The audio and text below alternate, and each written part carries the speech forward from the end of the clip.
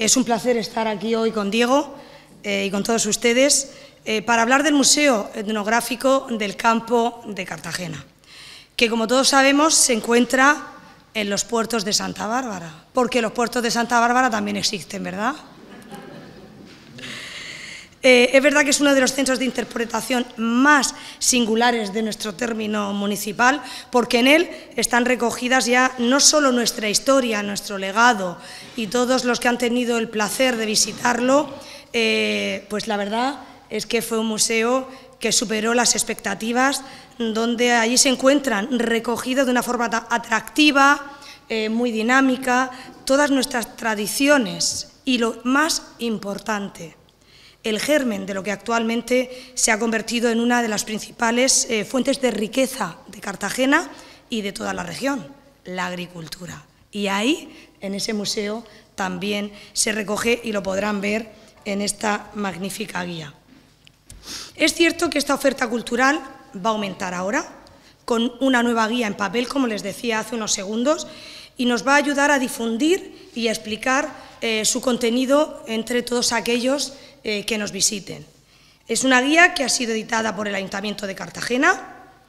es obra del arqueólogo, historiador y escritor cartagenero, conocido por todos, Diego Ortiz. Muchísimas gracias por tu predisposición siempre, porque además es uno de los creadores, por si no lo saben, eh, los que están aquí, es uno de los creadores del contenido del discurso museográfico actual de estas instalaciones que llevó mucho tiempo,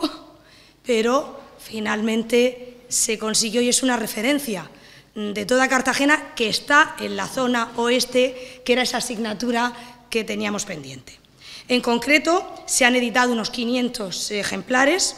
que se van a poder adquirir en el propio museo por todas aquellas personas que estén interesadas y eh, lo podrán ver ahora. La publicación cuenta con 80 páginas a todo color en la que se ofrecen textos explicativos de cada una de las áreas en las que se va dividiendo el museo etnográfico. Lo digo porque para aquellos que tengan eh, la oportunidad eh, de poder ver ahora la guía y no hayan visitado el museo, verán que nos quedamos cortos en palabras y como dice el refranero popular, que es muy sabio, una imagen vale más que mil palabras. Como decía, eh, estos textos irán acompañados también de una amplia selección de fotografías que recogen algunas de las piezas eh, bueno, que, que se ha considerado mm, que han sido más destacadas porque tenemos el privilegio de que se conservan y las mantenemos ahí en ese museo un atractivo impresionante. Como decía, con esta guía seguimos avanzando, avanzando en la tarea que emprendimos hace algunos años de convertir esta iniciativa, eh, bueno, que partía también de los vecinos de la zona oeste y que ahora es un centro museográfico adaptado a los tiempos actuales que nada, nada tiene que envidiar a cualquier museo de referencia que, que recoja el legado, las costumbres y la historia de cualquier municipio de España. Y como digo, y no me canso de repetirlo,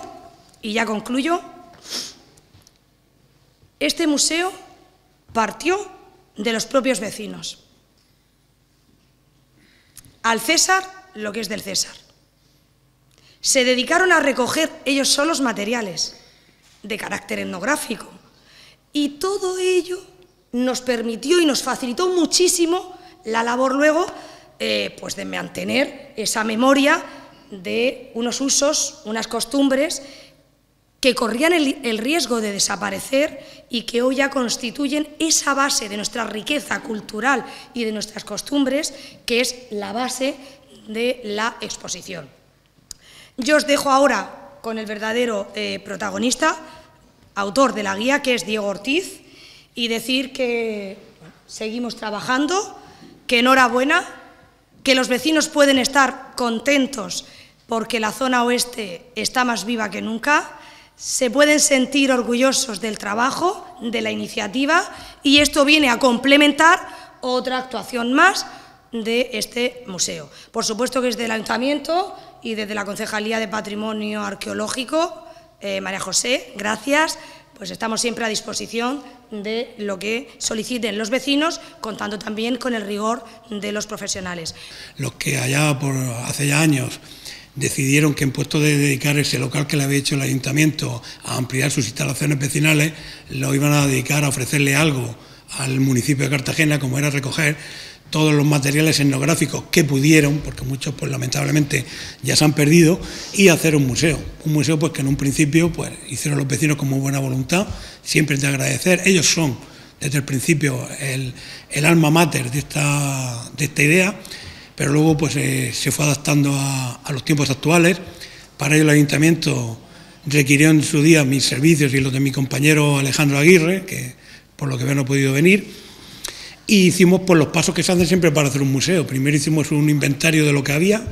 después hicimos un proyecto museográfico y luego plasmamos ese proyecto museográfico en una realidad sin decir si una cosa está mejor, otra cosa está peor, pues es muy diferente lo que había en aquel momento a lo que hay ahora. Ahora hay un museo pues, del siglo XXI que va creciendo, que va cambiando, porque los museos son entidades vivas y porque ahora tengamos una guía no quiere decir que ya hemos terminado la tarea. Ahora con el tiempo que hacer más cosas, hay, se me ocurren algunas, pero no es el momento de decirlo aquí para que no parezca que estoy pidiendo trabajo. Pero hay algunas cositas que se, que se pueden hacer, como siempre, para ir mejorando. Eh, la guía es un trabajo muy sencillo, desde luego eh, yo lo tomo con ilusión por dos motivos. Primero porque, aunque es hablar un poco de mí, parezca pedante, es mi libro número 25. Y ya llega un momento que uno dice, bueno, ya 25 libros, yo creo que debo cortarme la coleta y no cansar más a la gente con mis cosas, pero bueno. Y le tengo la ilusión no solamente porque sea mi libro 25, sino porque, como he puesto en mi estado de WhatsApp, los que lo hayan visto, alguno lo ha visto,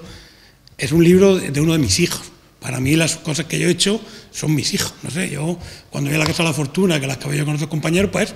un hijo. O cuando veo el busto de Jiménez de la Espada, que rescaté después de ochenta y tantos años, perdí un almacén, pues para mí es un hijo. Y, el, y este libro pues es una guía de un museo que es uno de mis hijos, que yo cuando voy con algún, con algún amigo y le gusta, pues es la mayor satisfacción que tengo mm,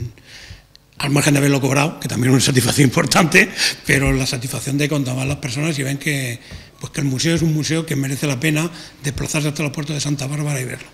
Hemos procurado que sea muy didáctico, los textos están basados en, en los que pusimos ahí en los paneles, porque no tenía sentido que fueran los textos completamente diferentes a los de los paneles, porque la idea es que sea una guía de pequeño formato que la persona cuando ve el museo, como solemos hacer todo, pues lo adquiere, se lo echa en el bolsillo ser un poco grande, pero en el bolso, en la bandolera, en lo que lleve, y se lo lleva. Yo les invito a los que no han estado, que por cierto algunos de mis amigos me han dicho que no han estado, que vayan, que merece la pena. Eh, yo, ah, aprovechándome de, la amistad que siempre me muestra y, muestra y la generación me muestra Claudio, ellos tienen unos horarios que es los martes y los sábados, pero yo sé que si les decimos de ir fuera de hora no hay ningún problema, porque siempre han estado dispuestos a abrirnos las puertas y como les digo, que lo, que lo visiten, que lo vean y que el primer paso para que piensen que merece la pena, que lo merece mucho, pues sea esta guía. Muchas gracias.